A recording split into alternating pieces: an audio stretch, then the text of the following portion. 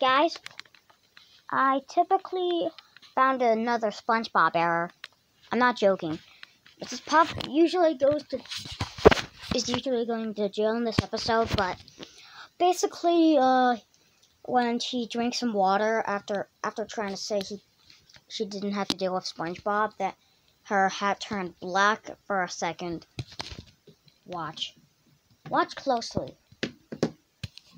And besides, if I'm in here, that means I won't have to deal with you. Uranium in the water supply. See? Look up. Crystal clear. See? Don't you see it? If you didn't seal it, you probably still suck your thumb.